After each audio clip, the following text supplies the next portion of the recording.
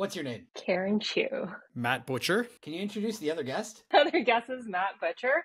Uh, Matt is CEO of Fermyon. And she's Karen. Karen is head of community at Fermyon. How old is Matt? He is somewhere in his 40s. I'm not going to give an exact number, not because I don't know, but probably because I don't know. How old is she? 30. 30. I'm going to go with 30. This is going to be embarrassing too because I just got her birthday cake for her last birthday and I'm yeah, yeah. How long have you two known each other? We started working together since 2015, so I guess that makes it about 9 years. I think this is our 10th year. I think we met in 2014. When did you start with Kubernetes? In 2015 with that In yeah, so 9 years ago. I started using Kubernetes right when 1.1 came out, so that I think would have been 2014. What time do you wake up in the morning? Matt's my manager. I don't know if he wants to hear that, but I do work late. So I usually wake up around like 10 a.m. Um, I'm a big night owl. 7.15. What time do you think Karen wakes up in the morning? 11.15. No, probably, probably realistically, maybe 9. Have you thought about moving on from cloud native and getting into woodworking? I, I, you know, I would consider that if I had the skill. That sounds like a very practical skill.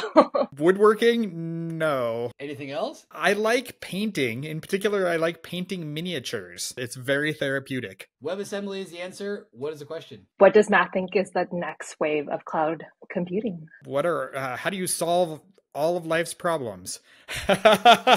Impossible Burger or McDonald's? Impossible Burger. How important is it to know Go? Seven. How important is it to be a people person?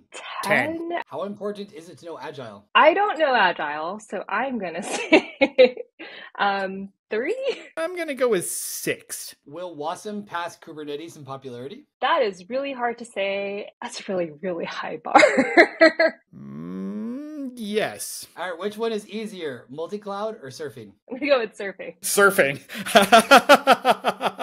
What's the best thing about your job? Honestly, the people that I work with, like I've been moving on with them. We are now three companies in, so I want to say I really do like my coworkers. I would say the best thing about my job is getting to uh, zoom out to that high level strategic view of how we're going to build a company over the next, you know, three, five, ten years, and then zoom into the particulars of how today am I going to get out there and talk to people about why I'm excited. Who's the person that you look up to in cl- the cloud native ecosystem? Throwback, Sarah Novotny. Huge fan of Brian Grant getting everything going in the early days. Brendan Burns, obviously very visionary, was my manager for a long time. Really liked working with him.